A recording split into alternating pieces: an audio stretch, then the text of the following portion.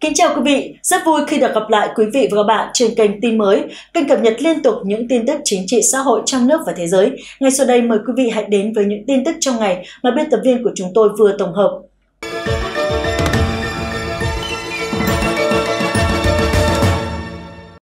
Bản tin lũ lụt Trung Quốc mới nhất ngày 5 tháng 8 năm 2023. Thưa quý vị, tin dữ về lũ lụt ở Trung Quốc đang tiếp tục phủ bóng lên các báo chí trong nước này. Theo bản tin ngày 4 tháng 8 mà chúng tôi nhận được từ thời báo Tài Tân, thì Vũ Hán đang tăng mức cảnh báo về lũ dữ. Thật khổ cho thành phố này, Trung Quốc đang phải trải qua những ngày tháng mưa lũ kéo dài, dữ tợn nhất. Tính từ 20 năm qua, thiên tai đã xảy ra và trải dài trên vùng đất từ tỉnh Vân Nam, phía Tây Nam đến tỉnh Chiết Giang, phía Đông, giết chết hàng chục ngàn người, di rời hàng triệu người và gây ra thiệt hại hàng tỷ đô la Mỹ. Ước tính đến thời điểm hiện tại, đã có hơn 600.000 người bị thiệt mạng. Biểu đồ trong ngày lũ lụt tàn phá khiến cho ít nhất 193 người chết hoặc mất tích trên khắp Trung Quốc. Và trong bản tin khuya ngày 4 tháng 8, tin một phần bờ đê sông Dương Tử của Trung Quốc đã vỡ. Con sông lớn thứ ba trên thế giới này cũng chính là ngôi nhà của đập Tam Hiệp và hơn 65 mét bờ đê của sông Dương Tử đã bị vỡ do sức ép. Nguyên nhân được cho là bê tông chất lượng kém, làm từ bê tông cốt tre, một số người dân chạy thoát nạn cho biết chất lượng thi công công trình xung quanh bờ đê, bờ kè của sông Dương Tử là quá kém. Một số đoạn bờ vì nhằm trục lợi nên người ta đã thay cốt thép bằng cốt tre. Trong tình trạng hiện tại, quân đội đã được lưu động tới để điều chuyển và sơ tán cũng như di tản người dân ra nhiều ngôi nhà đã bị đánh sập liên quan tới trận lũ từ sông Dương Tử vỡ toác. Thưa quý vị, sáng nay Trung Quốc đã đưa ra cảnh báo đại hồng thủy ở lưu vực hồ chứa nước ngọt thứ hai Trung Quốc Hồ Tương Phần nằm trên địa bàn ban ba thành phố Cửu Giang, Thượng Nhiêu và Nam Sương thuộc tỉnh Giang Tây, được biết đến là hồ nước ngọt lớn nhất Trung Quốc, đồng thời là hồ lớn thứ hai của nước này. Hồ Thanh Hải, Hồ Tương Phần là một trong những nhánh chính của hạ lưu sông Dương Tử. Diện tích mặt hồ trong thời điểm mực nước bình thường là 3.150 km vuông và có thể lên tới 4.125 km vuông khi mực nước dâng lên 20 mét. Căn cứ tình hình mưa lớn ở các khu vực lân cận sông Dương Tử tại năm con sông đi qua địa bàn tỉnh Giang Tây, Bộ Chỉ huy phòng chống hạn hán lũ lụt tỉnh này tối ngày 4 tháng 8 đưa ra dự báo đại hồng thủy sắp xảy ra ở lưu vực Hồ Tương Phần.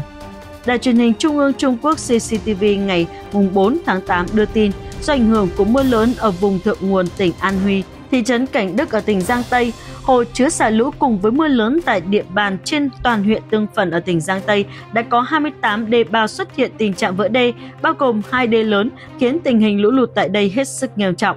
Vào lúc 20 giờ 35 phút tối ngày 4 tháng 8, đoạn đê dài khoảng 50 m tại thị trấn Tương Phần, huyện Tương Phần đã bị vỡ, khiến nước lũ ở lưu vực sông Xuân Giang tràn vào, phá hoại khoảng 1.000 hecta đất ở vùng trũng. Đồng thời, 9.000 người dân phải sơ tán trong đêm đến địa điểm an toàn. Theo CCTV, việc một loạt sông hồ chủ yếu ở tỉnh Giang Tây đồng loạt xảy ra lũ lớn đủ tiêu chuẩn đánh mã số hồng thủy theo quy định của Trung Quốc. Mực nước vượt mức cảnh báo là hiện tượng hiếm thấy trong lịch sử từ cuối tháng 5 do ảnh hưởng của băng tan ở thượng nguồn Tây Tạng đã khiến cho mực nước hồ Tương Phần bắt đầu dâng lên nhanh chóng. Hiện mực nước ở cửa hồ này đã vượt mức cảnh báo lũ 2,3 m, cao hơn 3,9 m so với cùng kỳ năm ngoái. Gần đây, hồ này ghi nhận 8 ngày liên tiếp mực nước dâng lên ở mức 0,4 m, trong đó ngày dâng cao nhất là 0,6 m. Theo giới chức địa phương, trong các ngày vừa qua, tại cửa khẩu Hồ Tương Phần đã xảy ra tình trạng dòng nước từ sông Dương Tử đổ ngược vào hồ với tổng dung tích lên đến 300 triệu mét khối, lưu lượng lớn nhất là 3.160 mét khối mỗi giây. Đến nay, Hồ Tương Phần đã lần đầu tiên trong năm ghi nhận diện tích mặt nước vượt 4.000 km vuông. Sau khi thiên tai xảy ra, gần 1.700 nhân viên các lực lượng đã được huy động để chi viện cho huyện Tương Phần. Đến 13 giờ ngày 4 tháng 8, giới chức địa phương nâng mức cảnh báo ứng phó khẩn cấp với lũ lụt từ mức 2 lên mức 1. Chính quyền tỉnh Giang Tây ngày 5 tháng 8 đã nâng mức ứng phó khẩn cấp lũ lụt từ mức 2 lên mức 1. Ở một diễn biến khác, tại Nhật báo Kinh tế Trung Quốc, ngày 5 tháng 8 đưa tin 130 con sông đi qua 11 tỉnh thành Trung Quốc đã phát sinh các trận lũ vượt mức cảnh báo. Dự báo trong những ngày tiếp theo, vùng trung hạ lưu sông Trường Giang tiếp tục có mưa vừa và mưa lớn, mưa rất lớn cục bộ với lượng mưa khoảng 30 đến 50 mm. Lưu vực nhiều sông hồ được cảnh báo có khả năng xảy ra hồng thủy ở mức độ tương đối lớn. Các chuyên gia Trung Quốc nhấn mạnh công tác phòng chống lũ đang ở giai đoạn quan trọng khi nỗ lực phục vụ sau dịch thiên tai kép đang thử thách với hệ thống quản lý ứng phó khẩn cấp cứu trợ thiên tai của nước này. Wang Sanxi, quan chức Bộ Thủy lợi Trung Quốc khuyến cáo các địa phương phải cảnh giác cao độ với mưa lớn năm nay.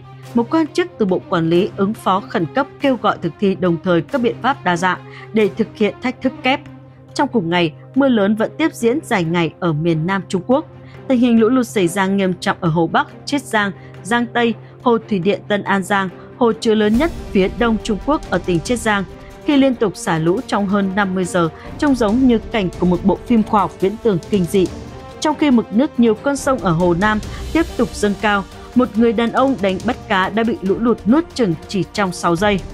Mưa lớn kéo dài nhiều ngày ở thành phố Trường Gia Giới, tỉnh Hồ Nam khiến cho mực nước nhiều con sông dâng lên. Vào ngày mùng 1 tháng 8, một người đàn ông ở huyện Vũ Lăng Nguyên đã mạo hiểm thả lưới câu cá nhưng do sơ suất đã bị rơi xuống dòng sông chảy xiết. Chỉ sau 6 giây, người đàn ông đã bị lũ cuốn nước chừng và cuốn trôi. Người dân trên bờ đã quay lại được cảnh đáng sợ này. Mưa lũ to như thế, động đất sóng thần sạt lở lũ quét lũ ống trên miên như thế, nhưng phía chính quyền Trung Quốc vẫn mạnh mồm phô trương tuyên bố đập Tam Hiệp vẫn thừa chỗ chứa. Lũ to hơn vẫn dư sức đối phó. Tân Hoa xã dẫn lời Trung tâm Thông tin và Truyền thông đập Tam Hiệp cho biết, con đập này thậm chí vẫn đủ khả năng để đối phó với lũ lụt quy mô lớn trên con sông lớn nhất Trung Quốc. Tình hình lũ lụt hiện tại ở đoạn chính của sông Dương Tử vẫn không quá nghiêm trọng do sức chứa của các hồ chứa nước lũ ở đập vẫn chưa được sử dụng hoàn toàn. Trợ lý giám đốc của trung tâm này cho hay, cơn lũ đầu tiên trong năm đã ập tới đập Tam Hiệp với lưu lượng nước cao nhất 53.000 m khối trên giây, đưa mực nước trong hồ chứa cao tới 149 m sau đợt lũ. Tuy nhiên, ông Bao cho biết rằng hồ chứa này có thể chứa nước tối đa 175 mét Tập đoàn Tam Hiệp Trung Quốc nói con đập này có thể chứa tới 18.000 mét khối nước một giây trong suốt đợt mưa lũ, giảm thiểu sự nguy hiểm của đợt lũ lớn. Đập Tam Hiệp được xây dựng tại thành phố Nghi Sương, trung tâm tỉnh Hồ Bắc, Trung Quốc. Trước mùa mưa lũ, con đập này đều xả nước để đảm bảo có đủ sức chứa. Khi lũ lụt tới, con đập sẽ góp phần ngăn nước, qua đó bảo vệ các thành phố và làng mạc ở hạ lưu. Rõ ràng, đây chỉ là những lời nói dối mị dân trắng trợn từ phía chính quyền ông Tập Cận Bình. Nói thẳng ra đơn giản là dễ hiểu. Đập Tam Hiệp to lớn, đồ sộ kiểm soát lũ vô đối như thế, tại sao chính quyền phía Trung Quốc lại cho xả lũ gấp trong đêm? Giữa lúc biển nước đang bao trùm, người dân vô tội ở vùng hạ du mặc sức vùng vẫy đang kêu cứu. Thưa quý vị, theo như giới chuyên gia đánh giá, đập Tam Hiệp không phải là công trình thủy điện đồ sộ, như lời của truyền thông chính quyền Trung Quốc tung hô gì cả, mà thực ra đây chỉ là thùng rỗng kêu to với thế giới. Nguy hiểm hơn, đó chính là quả bom nước khổng lồ mạnh gấp hàng trăm quả bom nguyên tử của Trung Quốc. Nó có thể phát nổ bất cứ khi nào, bởi ngòi nổ mang tên thiên nhiên nhân tài. Chính quyền Trung Quốc khi xây dựng con đập này đã đi ngược lại 100% quy luật của tự nhiên.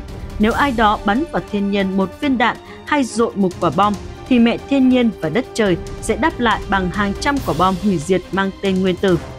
Theo ông Jarutin, Phó Tổng Thư ký Hiệp hội Công trình Thủy điện Trung Quốc nhận định rằng các đợt mưa lớn dữ dội năm nay có nguyên nhân từ những biến động khí hậu tự nhiên cùng với điều kiện thời tiết khắc nghiệt cho đến biến đổi khí hậu và tình trạng này nghiêm trọng hơn những năm về trước.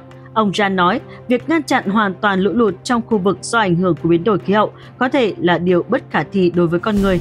Dù vậy, ông cho rằng nếu thực thi được các chương trình tích trữ nước đầy đủ và hiệu quả, nhà chức trách Trung Quốc có thể kiểm soát lũ hiệu quả hơn, đồng thời giảm thiểu thiệt hại về sinh mạng, tài sản.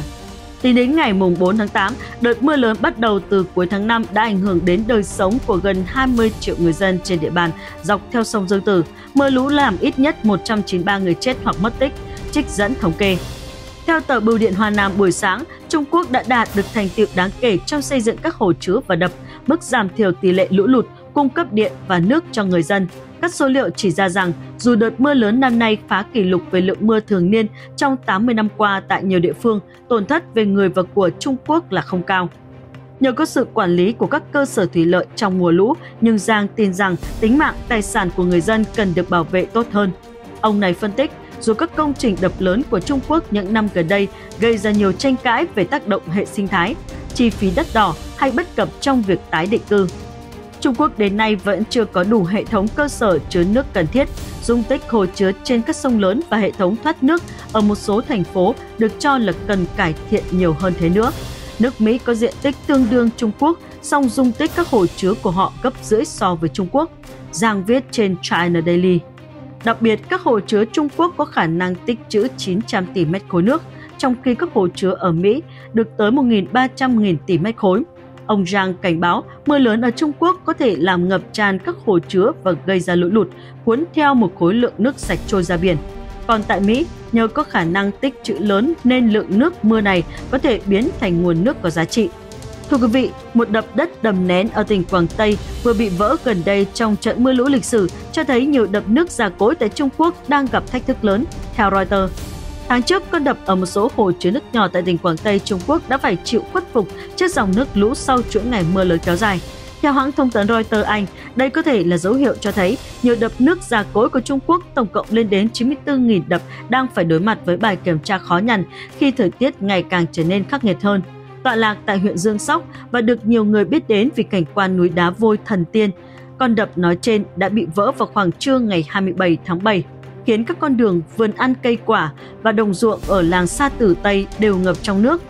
Theo lời phóng viên Reuters, ông Lạc Kỳ Nguyên, 81 tuổi, người dân ở làng Sa Tử Tây cho biết, Tôi chưa từng chứng kiến trận lũ lụt nào như thế. Được biết, nhiều thập kỷ trước, ông Lạc đã tham gia xây dựng con đập này. Trước đây, nước sông chưa từng dâng cao đến thế và con đập này cũng chưa bao giờ bị vỡ, ông Lạc nói. Được hoàn thành vào năm 1965, con đập ở làng Sa Tử Tây được làm bằng đất đầm nén và được thiết kế để trữ được 195.000 mét khối nước, tương đương trữ lượng nước trong 78 bể bơi theo chuẩn Olympic và đáp ứng nhu cầu tưới tiêu của người nông dân làng xa từ Tây. Trong một chuyến khảo sát gần đây, phóng viên Reuters đã chứng kiến chiều dài của con đập khoảng 100 mét, phần lớn đã biến mất. Con đập này từng được gia cố 25 năm trước. Theo một thành viên của đoàn khảo sát, nước lũ đã vượt qua con đập và sau đó con đập này đã bị vỡ và sụp đổ. Dân làng Sa Từ Tây cho biết không có thương vong trong vụ vỡ đập này. Tuy nhiên, theo Reuters, vụ việc nói trên là dấu hiệu cho thấy những trận mưa bão lớn hoàn toàn có khả năng khiến các hồ chứa quá tải, đặc biệt là khi thiết kế hệ thống đập không đủ khả năng chống chịu và việc gia cố đập được làm theo cách chắp vá. Đây cũng là lời cảnh báo về nguy cơ xảy ra thảm họa ở những khu vực vùng trũng và đồng bằng canh tác, nơi hiện tập trung nhiều người dân sinh sống hơn thời điểm những đập nước này được xây dựng. Các nhóm môi trường cho biết hiện tượng biến đổi khí hậu đang khiến những trận mưa ngày càng xuất hiện dày đặc hơn, với lượng mưa cũng lớn hơn trước. Theo chính phủ Trung Quốc, những trận lũ lớn có thể châm ngòi cho những tình huống thiên nga đen bất ngờ, cùng với đó là những hậu quả khủng khiếp vào thập niên 1950 và 1960, hàng ngàn con đập đã được xây dựng để khắc phục tình trạng hạn hán tại Trung Quốc, khi đó còn là một quốc gia có phần lớn diện tích đất phục vụ nông nghiệp. Theo dữ liệu năm 2006 của Bộ Thủy lợi Trung Quốc, trong giai đoạn từ năm 1954 đến năm 2005, các con đê tại 3.486 hồ chứa nước đã bị vỡ do chất lượng không đạt chuẩn và quản lý yếu kém. Do đó, Reuters đã đặt nghi vấn về nguyên nhân thực sự khiến con đập đất đầm nén ở làng Sa Tử Tây bị vỡ, liệu đó là do mưa lũ lịch sử hay tràn xả lũ của con đập bị tắc nghẽn do bùn đất hay chính bản thân thiết kế của con đập này đã có vấn đề từ trước. Cơ quan quản lý thủy lợi địa phương và chính quyền huyện Dương Sóc đã từ chối đưa ra bình luận về vấn đề này. Theo Reuters, tại Quảng Tây, Tây Nam Trung Quốc, lượng mưa và nhiệt độ trung bình trong giai đoạn từ năm 1990 đến năm 2018 đều cao hơn đáng kể so với 29 năm trước đó, theo số liệu của chính phủ Trung Quốc. Theo ông David Sapman, nhà địa lý học của trường đại học Alabama nghiên cứu về lũ lụt tại Trung Quốc, chính các hiện tượng thời tiết cực đoan đã khiến các con đập của Trung Quốc gặp nguy. Tuy nhiên, một con đập cần có khả năng chống chịu các hiện tượng thời tiết cực đoan, dù các hiện tượng đó trở thành điều bình thường mới. Và khi mưa lũ qua đi, chất lượng của con đập này phải còn nguyên vẹn nếu như nó được thiết kế và xây dựng đúng cách, ông Sackman nói. Theo thông tin của trạm quan trắc hồ chứa Sa Tử Tây, con đập cao 151,2 m được xây dựng để đối phó với kịch bản tồi tệ nhất được dự kiến xảy ra trong vòng 200 năm. Đó là khi mực nước có thể dâng lên 149,48 m. Tuy nhiên, tháng trước, hồ chứa này đã quá tải. Tháng trước, huyện Dương Sóc đã chứng kiến lượng mưa trong vòng 3 giờ đồng hồ, nhiều hơn lượng mưa trong vòng 2 tháng cộng lại. Trong khi đó, tại một con đập khác ở chi lưu sông Dương Tử, mực nước đã dâng cao nhanh đến mức báo động, khiến giới chức địa phương buộc phải cho nổ một phần đê tại con đập này để giải tỏa áp lực nước. Thảm họa vỡ đập tồi tệ nhất trong lịch sử Trung Quốc là vụ vỡ đập Bàn Kiều trên sông Hoàng Hà. Con đập này đã hoàn thành vào năm 1952 với sự hỗ trợ của các chuyên gia Liên Xô và đã bị vỡ vào năm 1975, khiến hàng chục ngàn người thiệt mạng. theo số liệu được chính phủ Trung Quốc công bố vào hai thập kỷ sau khi vụ việc này xảy ra. Tại một cuộc họp báo gần đây, ông Jay Yanchun, Thứ trưởng Bộ Thủy lợi Trung Quốc cho biết ông tin rằng các dự án kiểm soát lũ lụt trên các con sông chính của nước này hoàn toàn có khả năng xử lý các trận lũ lớn nhất lịch sử, tính từ thời điểm nước Cộng hòa Nhân dân Trung Hoa được thành lập. Tuy nhiên, đối với các con đập được xây dựng trên những con sông nhỏ hơn, ông J vẫn cảnh báo rằng tình trạng mưa lũ lớn có thể vượt quá khả năng chống chịu của những con đập này và gây ra những tình huống thiên nga đen. Nhận thức được nguy cơ nói trên, chính quyền các địa phương đã tiến hành gia cố các con đập cũ và tăng cường kiểm tra. Họ cũng lên kế hoạch xây dựng thêm các đập mới để tăng cường khả năng trữ nước. Tuy nhiên, theo ông Benjamin Horton, giám đốc tạp chí Earth Observator NASA tại Singapore, cho rằng trong bối cảnh biến đổi khí hậu hiện nay, việc nên làm là thuận theo hệ sinh thái thay vì cố gắng kiểm soát môi trường bằng cách xây thêm đập.